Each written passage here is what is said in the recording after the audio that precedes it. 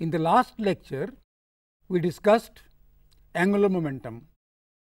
We learnt that if there is no external torque acting on the system, then angular momentum remains constant. That is the law of conservation of angular momentum and this law is very important in the whole of physics. We also learned about moment of inertia and we saw that it plays the same role in rotational motion which mass does in linear motion. Today, we intend to discuss gravitation. As you know, gravitation was discovered by the great scientist Sir Isaac Newton. Newton discovered that each particle in this universe attracts every other particle and the force the magnitude of the force between these particles is proportional to the product their masses and inversely proportional to the square of the distance between them. Suppose we have mass m 1 and mass m 2 placed at a distance r. Then the force between them can be written as m 1 into m 2 by r squared multiplied by a constant g. g is known as the constant of proportionality. Actually, g is the universal constant of gravitation. Why is it universal? It is universal because wherever you go, this constant has the same value. That means, the force between two particles remains the same whether we are on the earth or we are on some other planet or we are on some other star. That is why it is called the universal constant of gravitation. Its value is 6.63 into 10 to the power minus 11 Newton meter square by kilogram square. As you can see, the value of g is extremely small. That means, that the force of gravitation is quite weak. Since the value of g is very small, it could not be determined in the time of Newton. About 100 years later, it was determined by Cavendish using a very sensitive instrument called torsion balance. Torsion balance consists of two small balls mounted on a light beam suspended by a material which is sensitive to torsional deflection. This arrangement is known as a torsion balance. It is used for very sensitive measurements. Two large balls are mounted on a stand which can be rotated on its axis. So, let us see what this torsion balance looks like. Here is a beam which is very light. There are two point masses or very small spheres at the two ends of this beam and this is suspended by thread or some other material which when the beam rotates which will bring about a restoring couple. So, that the beam gets deflected by a certain angle. Let us see how it works. You see two large balls are mounted on a circular track. These large balls are placed on either side of these small masses and they exert forces F on each other. These forces are equal and opposite and they constitute a couple. After this large masses are rotated and they are brought in the vicinity of these masses on the other side. So, that the beam gets deflected on the other side. There are several such observations and the mean of those observations is taken as the deflection of the beam. Now, the large balls placed near the small balls exert gravitational forces on them, we have seen that. These forces are equal and opposite as I have told you. They form a couple which tends to rotate the beam. Because of the deflection in the beam, the suspension undergoes rotation which produces a restoring couple in the suspension. Again let us look at this. This is beam and these are the position of the masses. The distance between the large mass and the small mass is r and the length of the beam is L. It is suspended by a fiber or by some thread. And you can see that when the balls are in this position, the beam is deflected in this direction. When the balls are in opposite position, then the beam is deflected in the other way and the mean of these two and several such observations actually is taken. The gravitational force as we have seen has magnitude f equal to g times small m times capital M by r squared and the length of the beam is L. Therefore, the couple called tau is f times L. If c denotes the restoring couple per unit angle of suspension, then equilibrium is reached when the beam has deflected through an angle theta. We write this equation c theta is equal to L g times small m capital M by r squared. From this we can get g which is equal to r squared c theta divided by L which is the length of the beam, m which is the mass of the small sphere and capital M which is the mass of the big sphere. All these things are known therefore, g can be determined. Since the deflection is small, we usually use light beam arrangement to determine this deflection. Interestingly, Cavendish did not do this experiment to determine the value of capital G. His aim was to determine the weight of the earth. That is why this experiment is sometimes known as weighing the earth.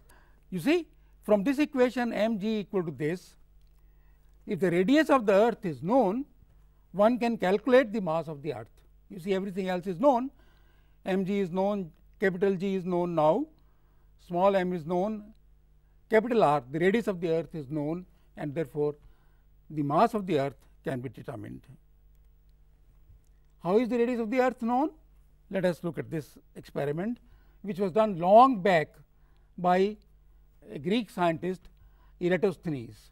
You see on, on the day of summer solstice at the place he worked this place is called Syene the rays of the sun are vertically downwards and at the same time at another place Alexandria these rays appear at an angle to a tall object. I will show you here look at this. This is the tall object, these are the rays of the sun and here they are vertical and here they appear at an angle to the tall object. We can see from the shadow formed by the tall object and this angle is alpha which is equal to 7.2 degrees.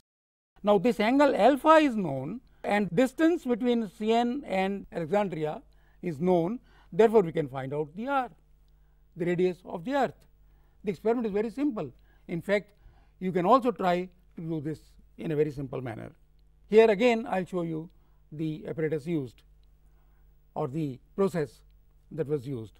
These are the sun rays at Syene they are overhead come vertically downwards at Alexandria they are at an angle of alpha which is the same as this angle alpha and so, we know alpha, we know the distance between these two places and therefore, we can determine the radius of the earth.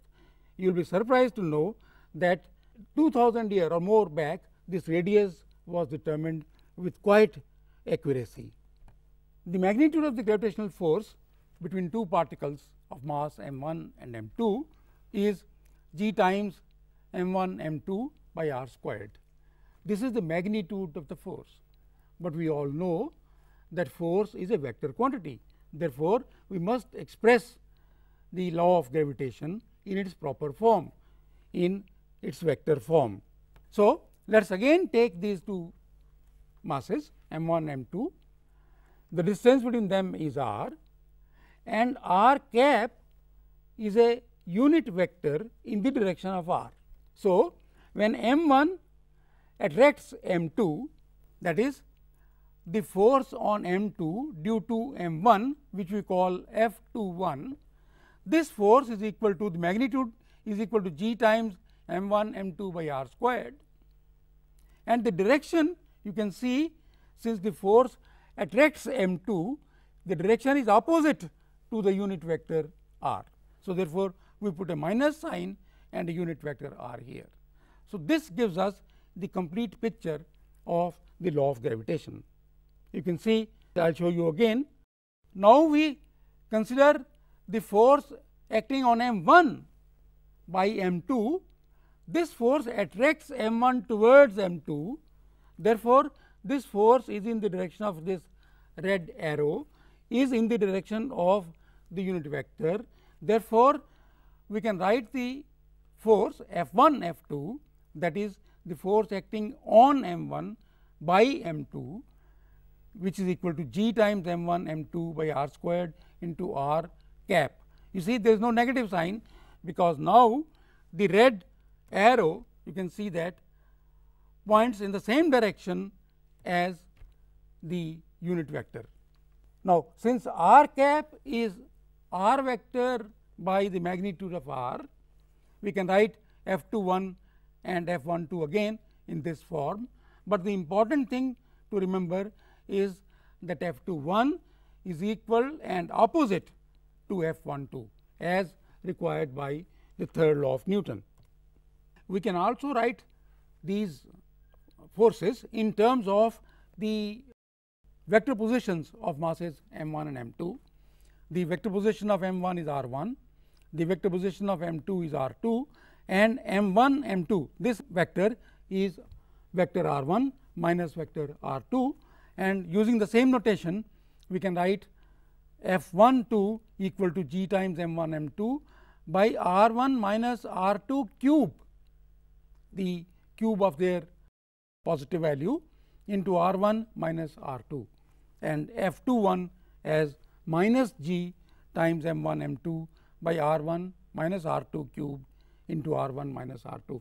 Remember that the again f 1 f 2 they are equal and opposite and dimensionally you can see this is a vector and has magnitude r. This is r cubed in the denominator. Therefore, what is left in the denominator is r squared. So, therefore, dimensionally these equations are correct. We are now in a position to answer the oft asked question. You must have been asked uh, this question many times. If the earth attracts the apple, does the apple also attract the earth? The answer is yes. Why do not we see the attraction of the apple, attraction of the earth by the apple? Let us answer this question. The reason why we do not see any effect on the earth of the force exerted by the apple is that earth is an enormously bigger and more massive object than the apple. So, the poor apple is very small, the earth attracts it, it shows. The earth is a huge and the attraction of the apple is very little and therefore, it does not show. You can see acceleration of the apple is f by the mass of the apple which is much larger than the acceleration of the earth under the same force f and the mass of the earth is m earth. Because m earth is much larger than m apple, the acceleration of apple is much larger than the acceleration felt by the earth. Again the gravitational force between the two given particles is along the line joining them. You see if m 1 m 2 are the particles then the force is along this line, line joining them and its magnitude depends only on the magnitude of the distance between them, distance between them which is r. A force which satisfies these criteria is called a central force. What are these criteria? One that the force should be along the line joining the two particles and it should depend only on the distance between them. And the you can see that here this mass m attracts m 1, m 2, m 3 and you can see that the forces are along the line joining them and their um, magnitude is also dependent only on the distance r. The upshot of this is that gravitational force is a conservative force, which implies that the work done by this force when a mass particle is taken from one point to another does not depend upon the path taken by it. It depends only on the end points. I have shown you three paths whether you take B to A by this path or A to B by this path or by this path or by this path the work done is the same. It does not depend upon the path, it depends only on the positions A and B. Gravitational force obeys the principle of superposition that is if a particle experiences several gravitational forces then the net force is the vector sum of all these forces. You can see this which I have done here that the force m 1 and m 2 is this is this force this is this force and therefore, its resultant is this. The resultant of this and the force m 3 is this green line and this when we compound them the resultant is this line. So, the net force is always the sum of the vector positions, the vector forces. Gravitational is one of the four fundamental forces of nature. The other three are electromagnetic force, strong nuclear force, weak nuclear force and we shall study them one by one when the time comes. Gravitational force is a long range force that is it varies as 1 by r squared therefore, it varies very slowly. The result is that even at large distances the force is still present and this is shown here the solar system is huge in size yet the sun is able to, uh, to exert gravitational force on the planets going around it. Galaxies are extremely far off from each other, yet the gravitational force is sufficient to cause interaction between them. I have shown you here the galaxies which are colliding due to the gravitational force. The gravitational force of the earth is generally called gravity. Of course, this word is no longer used in the sense it was meant. And when we consider the force due to earth, you remember the center of mass, we go to the center of mass of the earth, which is the center of the earth. Therefore, all distances are measured from the center of the earth. This is the radius and this is the distance r small r to this point m and the force is g m m by r squared. And what is the importance?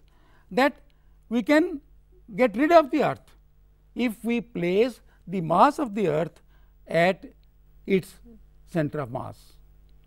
The effect is the same. We do not require the earth, all that we require is that its mass should be placed at the center of its mass and therefore, the rest follows. It must be measured from its center of mass which is at its center. In the next one, we will continue with gravitation, we shall see the acceleration due to gravity, what this implies and how it varies from point to point on the earth, inside the earth, outside the earth. We should also look at the things like the weight of a body and the right way to express this weight.